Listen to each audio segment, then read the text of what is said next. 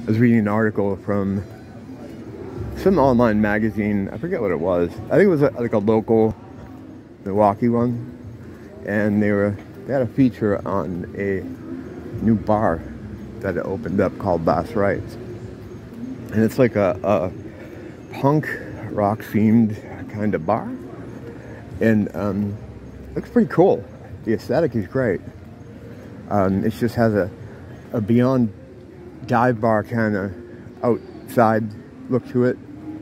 It's pretty awesome. I guess it's a small capacity place. Like I think it says it seats 10, but um, I'm sure the uh, you can fit more people in there. Um, I think there's a stage in there too. I just quickly looked over the pictures just to get an idea, and um, yeah, it looks really cool. It's a, it's a place that you know I'd like to have in my town, or a lot of people would like to have in their town. I mean, I don't really drink, but uh, it's a be a cool place to hang out or to see bands if they indeed do have bands. I think they might. But looking at the uh, the decor and the ephemera there, uh, it highlights a lot of the problems with current gay punk rock ideology, I guess, if you will. Um, the owners, uh, who seem like good people, I'm sure they are. I'm just going off the fact that uh, if they're into punk rock, then there's some things about the, uh, I guess again, you'd call it ideology of punk rock, that are, are wonderful. I mean, aside from the fact the tree itself, which uh, the original tree that was grown is pretty rotten. It was made under bad pretenses. I mean, it was, it's literally a, a intelligence agency operation. But from that came a lot of cool stuff.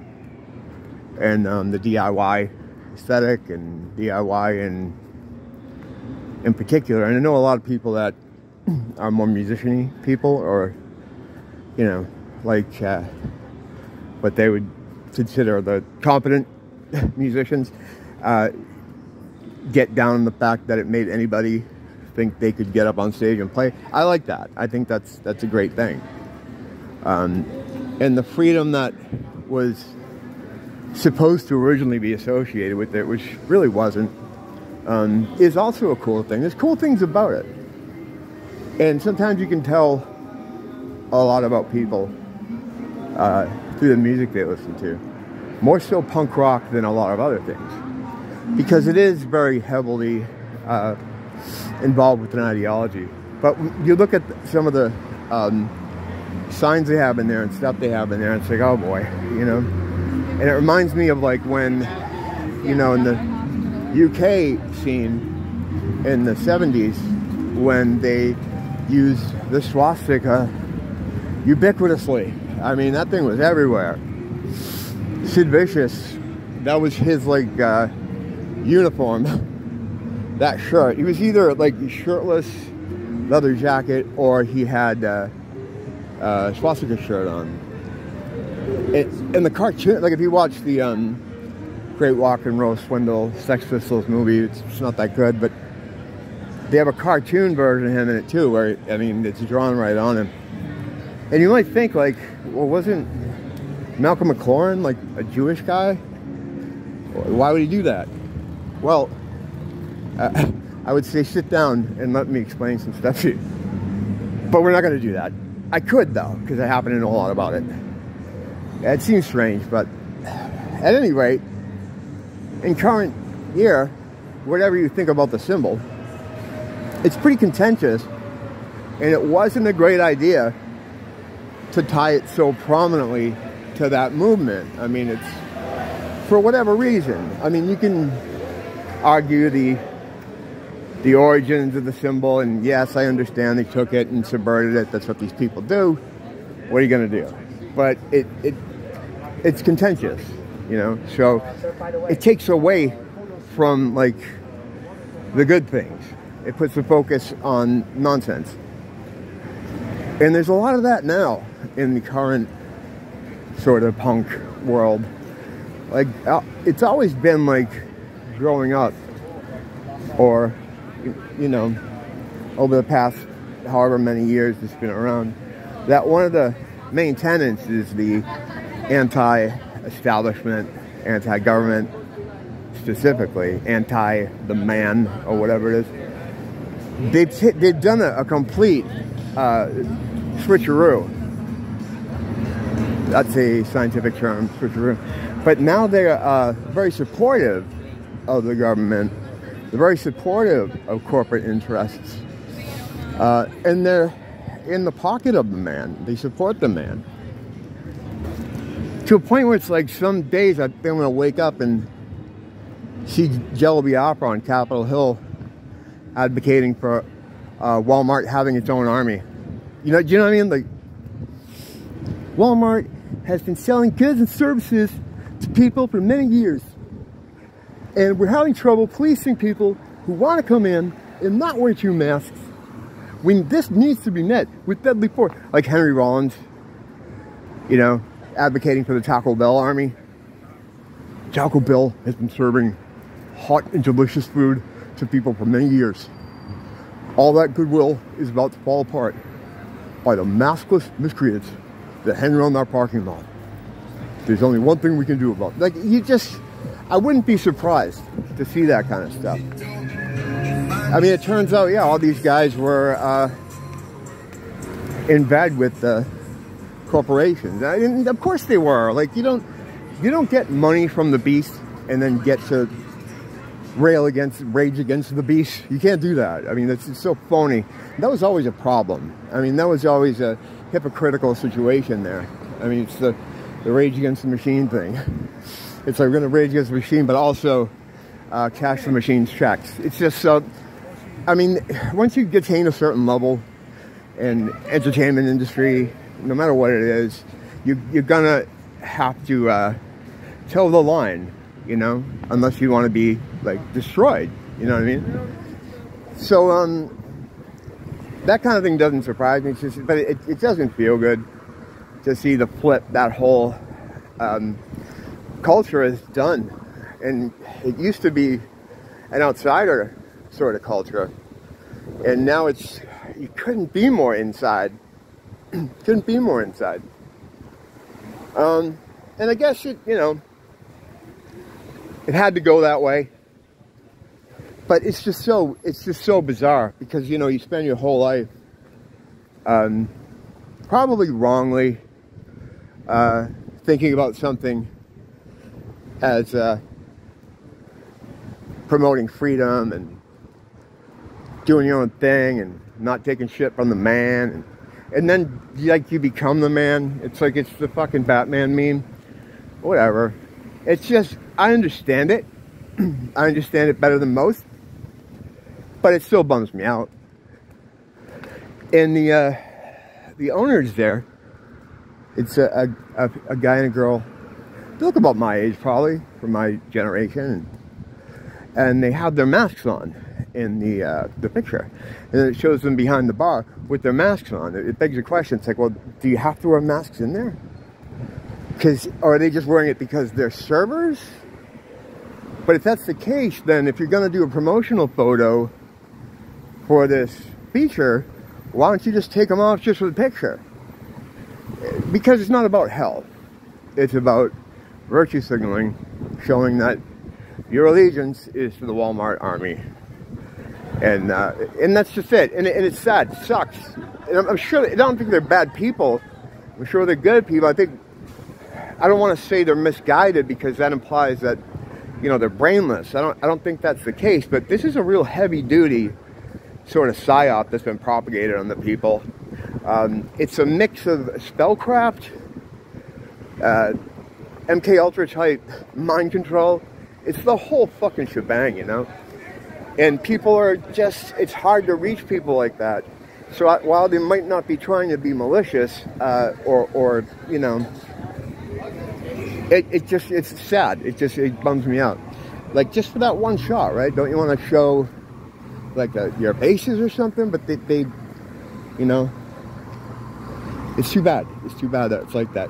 Now, punk rock as a uh, idea and a concept and uh, a musical force or whatever, an ideology in, in some cases, uh, would never, ever, uh, in any other world or circumstance, put the diaper on the face. Even if health was an issue, which it isn't, it's it's the only kind of uh, music or movement or ideology that could say, no, fuck you, I don't care. I'll kill everyone, you know? That's what it is. That That's the only kind of thing that would stand for that. So to see them like just, not them in particular, but the whole movement just get on its knees for Amazon is just so fucking disheartening, dispiriting. It's like, I know it was all bullshit from the beginning, but it was bullshit that seemed to mean something.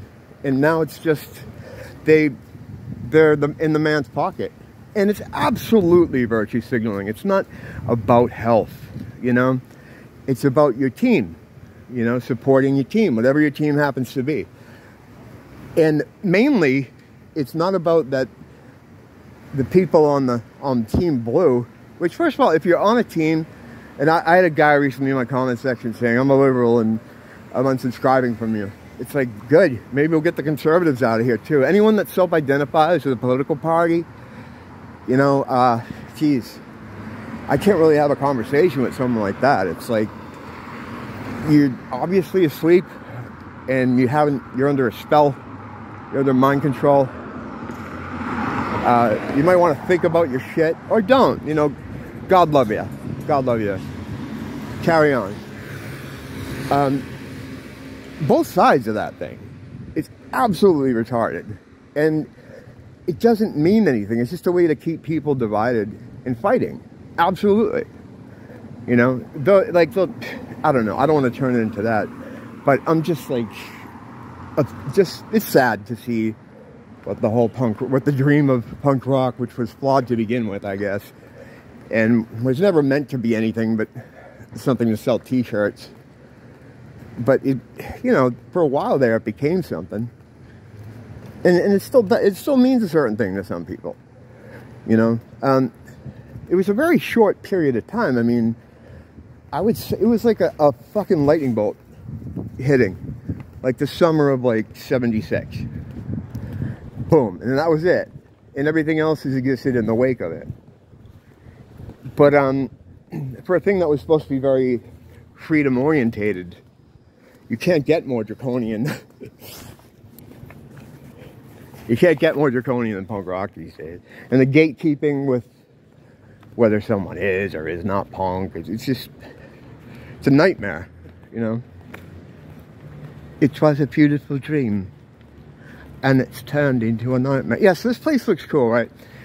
And and they make a point to say we, you know, accept everything, everyone as, you know, punk rock should uh, embody the acceptance of everybody.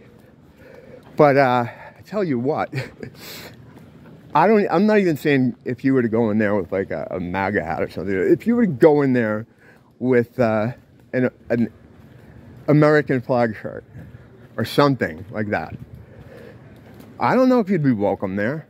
They say they welcome everybody, but they don't. They don't. They welcome everyone as long as you're on their team. And uh, yeah, I wish people would get out of this team mentality. It's a horizontal thing. You can't gain power or truth or anything from horizontal movement. It's all vertical, it travels upward. Um, so of course they want to keep you on uh, the third floor horizontally fighting against the uh, the Trump people. And that Trump, man, that was a fucking spell big time. And we're still seeing it now uh, manifest in people. Like I think I mentioned uh, the other day, I could have actually mentioned in this video, my Alzheimer's is pretty, pretty bad. but um, when people get upset with me for not wearing a mask on my nose, it's not because they care about health or they uh, know me personally or anything. It's because when they see someone not complying, what they see is what the media uh, told them they see atheists and a phobe and probably white supremacists and a Trump supporter. They see they project all the shit onto you, and um, and then they go crazy in the elevator which is what happens to me sometimes here. Uh, with, like I always say, like a Twitter dude, warrior, that's never been in a fist fight, uh, you know, wants to talk to me like I'm his son. It's like, dude, I'll let this go for a while, but there's a point, you know, there's a point. But um, yeah, they wouldn't they wouldn't accept everybody. That's a lie. It's an absolute lie. And like the um, the use of in the 70s, the use of the swastika, which was misguided for that whole thing. I would say look into the look into some of these things, some of these um, intelligence agency creative movements that you're shilling for. Well, not shilling, but just having a sign in your window. Eh, I don't know. It wouldn't bother me. It wouldn't stop me from going in. I doesn't. That kind of stuff doesn't bother me. I I just I accept people are on different levels of the journey. But I mean, would it take that much time? In the time it would take to listen to the first Agent Orange album, you could get a, a working knowledge of the disingenuous nature of that particular movement. And it's not a movement made by who you think it was. It's not run by who you think it is. Its purpose and aims aren't to do what you you think it's supposed to do. And it just shows like it makes me think that they're ignorant. Like how do you dude, really? How do you not know this? It's probably the way people looked might have looked at the swastika in the 70s. Like, really guys? You don't know this shit yet? But the other side of it, just like the face diaper thing, is they do know. But again, it's just a virtue signal to show we're in with the team no matter how nonsensical and disingenuous it is, we're down with Mr. Poopy Pants. And if you're not down with us, then you like Orange Man. It's fucking retarded. I don't, you know, I don't wear the mask over my nose sometimes because I can't fucking breathe. I've had a deviated septum, choked to death in the fucking elevator trying to fucking wear this dumb thing. I try to keep it on around old people because you can't make them understand. They're fucked. So, I mean, you know, they're not, they're fine, nice and everything, but as far as knowing what the fuck is going on, no, they, they were part of probably the biggest uh, hypnosis generation. There's never, you're just not reaching them, you know. You can try, but you're not going to. So if uh, that's why I don't have it sometimes over my nose. It's not because I fucking support Trump. I fucking hate Trump. He's a Jesuit, satanic, fucking black cube worshiper whose job it was was to make everyone that would oppose the people he worked for stick their neck out so they could figure out who these people are. So when they enter the next phase of the plan, they could get these people and scoop them up. That was it. That was his job. But he was a fucking spell. You know, the whole thing was a spell. And people are still under the effects of it. You know, it's so crazy to think like because I'm, of how I wear my mask, it, it's a dog whistle about Trump support. Like, Trump support how? How do you support him? You send him money? Like, what? I don't even know what they're talking about. It doesn't make sense, and there's no logic to it because it's not logical, because it, it's fucking magic. It's magic. It's a magic spell. I don't, I mean, I know it sounds silly, but that's what they use. It's, you know, we've been trained to think it's silly, or I think it's the world of fantasy, but it's not. It's magic combined with uh, mind control tactics, which they've been working on for many, many, many, many years and, and not just like MK Ultra specifically. There's a there's a boatload of stuff, ways they control you through the frequencies.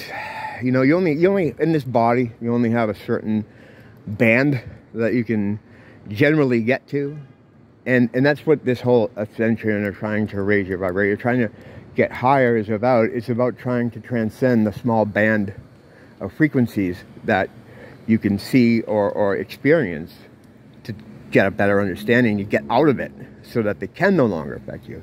And most of us that are like talk about this kind of stuff are already already there. Like the tricks are never going to work on us because we've seen them. You know, when you see the the fucking assistant bring the rabbit to the magician, put under his coat, when he pulls that out of the hat, it's not, it doesn't work on you, and it's never going to work on you. So, yeah, I gotta, I gotta go in. I could spend, I'd spend another hour here going on about that shit. Don't blame the teacher, blame the school.